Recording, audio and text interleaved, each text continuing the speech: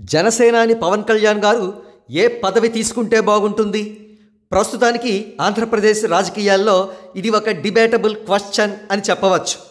అయితే ఈ విషయమై జవాబును తెలుసుకోవడం కోసం పాలసీని మేధావులను ఆశ్రయించాలని నిర్ణయించింది.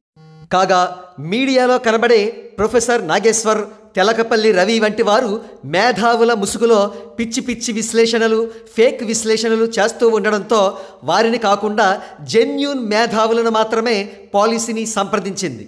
ఇకపోతే జెన్యూన్ మేధావులు పవన్ కళ్యాణ్ గారి పదవికి సంబంధించి కొన్ని ఆప్షన్స్ ఇవ్వడం జరిగింది.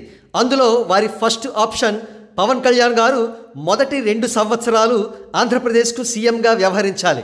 చివరి మూడు సంవత్సరాలు ఫ్రెండ్లీ ప్రతిపక్షంగా ప్రజా సమస్యలపై పోరాటం చేయాలి కానీ ఈ నెల పన్నెండవ తేదీన చంద్రబాబు నాయుడు గారు సీఎంగా ప్రమాణ స్వీకారం చేస్తారనే వార్తలు వస్తూ ఉండడంతో ఈ ఆప్షన్కు ఇక ఛాన్స్ లేనట్టే. Option number two Pavan Kalyan గారు మొదటి మూడు సంవత్సరాలు కేంద్రంలో మంచి పోర్ట్ఫోలియోతో క్యాబినెట్ మినిస్టర్గా మాత్రమే చేయాలి చివరి రెండు సంవత్సరాలు ఆంధ్రప్రదేశ్ సీఎంగా చేయవలసి ఉంటుంది.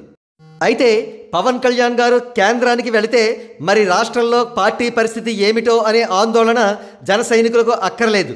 ఎందుకంటే కిషన్ రెడ్డి గారు కేంద్ర మంత్రిగా చేస్తూనే తెలంగాణ రాష్ట్రంలో బీజేపీని డెవలప్ చేశారు. ఇక option number three Pavan Kalyan గారు యూనియన్ క్యాబినెట్ మినిస్టర్ పదవిని చేపట్టకపోతే మొదటి మూడు సంవత్సరాలు ఆంధ్రప్రదేశ్ రాష్ట్రానికి deputy chief minister plus home మినిస్టర్గా వ్యవహరించవలసి ఉంటుంది. చివరి రెండు సంవత్సరాలు సీఎంగా పనిచేయాలి. ఇక ఆప్షన్ నంబర్ ఫోర్. ఈ ఆప్షన్ ప్రకారం టీడీపీకి పవన్ కళ్యాణ్ గారిని సీఎం చేయడం ఇష్టం లేకపోతే అనే పరిస్థితి గురించి. ఈ సందర్భంలో పవన్ కళ్యాణ్ గారు మొదటి మూడు సంవత్సరాలు AP deputy CM plus home మినిస్టర్గా వ్యవహరించి చివరి రెండు సంవత్సరాలు ప్రభుత్వంలోంచి పూర్తి స్థాయిలో బయటకు వచ్చి ప్రధాన ప్రతిపక్షంగా వ్యవహరిస్తూ రెండు వేల ఇరవై తొమ్మిది జనరల్ ఎలక్షన్స్లో సింగిల్గా కాంటెస్ట్ చేయవలసి ఉంటుంది. ఎందుకంటే పవన్ కళ్యాణ్ గారిని సీఎం చేయకపోవడంతో అప్పటికే విపరీతమైన యాంటీ ఇంకంబెన్సీ ఉండి టీడీపీ చాలా దారుణమైన చావు దెబ్బ తినే పరిస్థితులు వస్తాయి. అటువంటి సందర్భంలో జనసేన టీడీపీతో ఉంటే జనసేనకు కూడా దెబ్బ తగలడం ఖాయం. అందుకే జనసేన పార్టీ అప్పుడు సోలోగానే కంటెస్ట్ చేసే అవకాశాలు ఉంటాయి.